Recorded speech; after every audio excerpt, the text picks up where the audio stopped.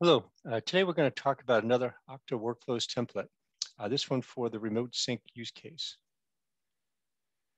Now, remote sync comes into play many times in a CIAM scenario where you have a legacy system or some external system that needs to be kept synced with your Okta platform.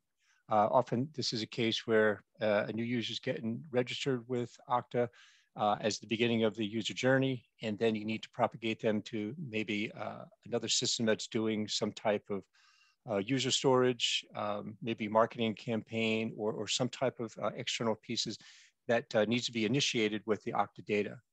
Now, part of the, uh, the journey here is to not only create the user, but to do all the other aspects of it, updating them, when they have certain uh, types of uh, attributes that are uh, updated, then also doing user management. So if you remove them from the cohort of users that needs to be uh, sent downstream, they are uh, automatically removed. And uh, those different types of operations that need to happen during those stages, either the creation, update, removal, are all done in an automated fashion. Now, the way we constructed this particular template is that we're going to leverage an Okta group in order to define the cohort of users that needs to be synchronized. Uh, very similar to how you would assign a group of users to an application or some resource, we're going to use an Okta group to assign the users to a uh, cohort that will be uh, synced downstream. Um, because there could potentially be a lot of different um, profiles on your Okta schema, uh, we're also going to do some logic in there to see exactly which uh, profiles are being updated and then only propagate the update scenario in those situations where it's warranted. So the way we're going to uh, orchestrate all this from the workflows perspective is that we're going to leverage the Okta event triggers.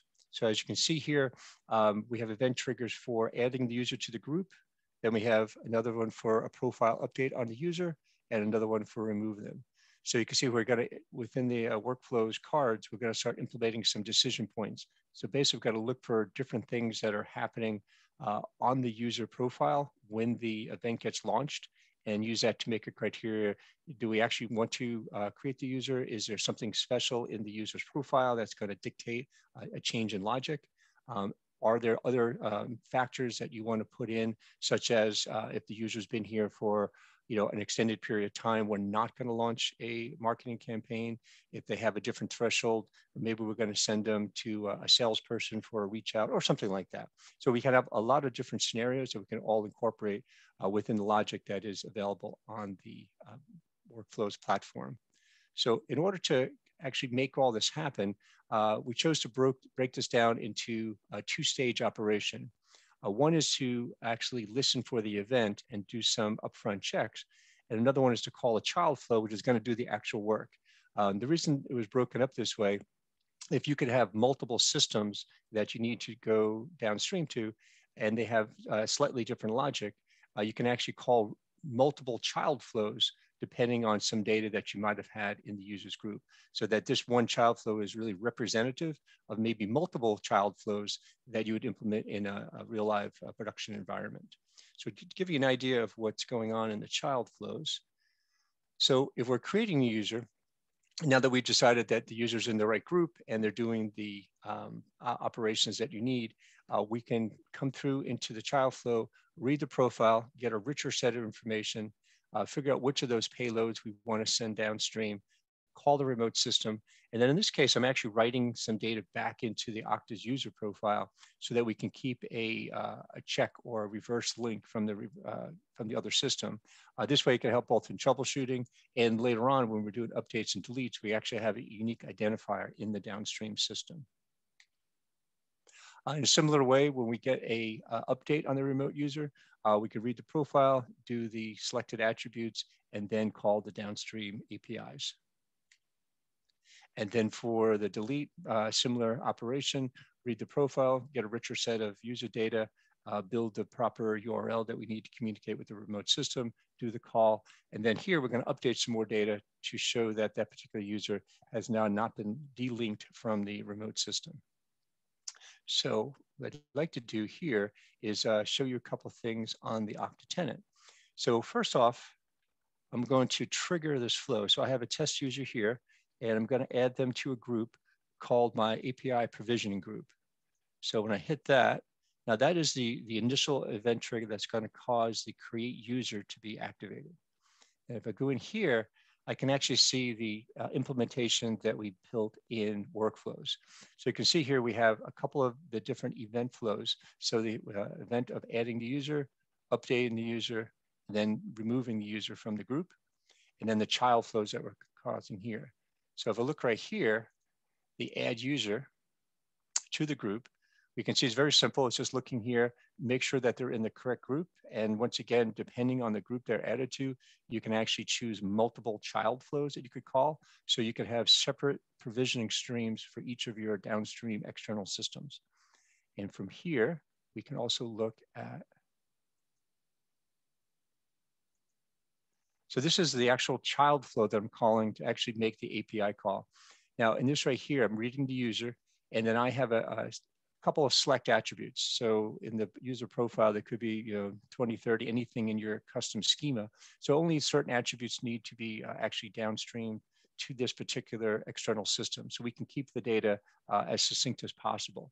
Now, in this particular POC case, I'm just using a, a placeholder API just to kind of show how the uh, flow would work. Uh, here, you would actually create the API URL uh, of your external system and potentially um, put any type of security mechanisms that you would need when you're making your API request here. So in this case, I'm calling my URL. I'm creating the headers that I need. I'm doing the necessary uh, communications with my downstream system. When I get that back, I'm looking at the ID and then I'm writing it into my uh, Okta user store here. So this is going to be your indication that the uh, synchronization went through. And you can put additional things in here as well, such as um, the time date that the synchronization happened, uh, or any other type of status information you want to retrieve from that external system. Um, we go back here and we look. So if I'm looking here from other events, so let's go back here for a second and I'll show you in the flow history. Remember, I just wrote this, uh, executed this a few moments ago. So here I can see it was added to a group membership. I have a payload for this particular uh, user. I check to see if it's in the right group. It is, and then I'm calling the flow. And then if I look here and I look in the history of that, I can see same thing. Uh, I have a successful execution here um, where I'm pulling the information that I need from the Okta user uh, directory and composing my API, making my request for the update, and then putting some uh, additional data back into my Okta profile. Um, now, another piece of this would be to update something. So if I want to update something on this particular user, I can edit this. And right now I'm actually pushing through uh, different types of uh, address information. So let's say I just want to change this right here. And now this could be uh, in any application that has the ability to modify the user's profile. I'm just showing from the admin context here, uh, just for simplicity. So now if I go back into here, I can see that I have my um, update user. I'm just gonna open that in a new tab. Once again, this is a, a fairly simple flow uh, that's gonna be listening for the event. Um, it's going to uh, do the necessary uh, checks to make sure that it was actually uh, an attribute that I wanted to, to, to look at uh, that's being changed. So I don't just uh, trigger on any event and send unnecessary data downstream to my remote system. Uh, and then eventually I'm calling my update user over here. And if here, if I look, I can see what happened in my flow history that I had an event. It was a a profile attribute that I care about. Uh, I, I constructed the correct API, and then I sent everything downstream. So you can see how the system here is going to just react to the events, call a, a separate child routine, uh, depending on the payload of the actual user, the user context, uh, execute the child flow, and then go through the, the various stages and the different checks and balances and things that you need uh, to ascertain exactly what your logic is that needs to be executed. So I hope this was uh, helpful to you and it shows how you can set up a very easy user sync with a downstream system, um, how you can use the Okta events to automate that process, and then how you can actually customize it for multiple types of flows by using the uh, uh, child flows which are available within workflows in order to have a nice orderly system. So uh, thank you very much for uh, listening in on this today and uh, enjoy using workflows.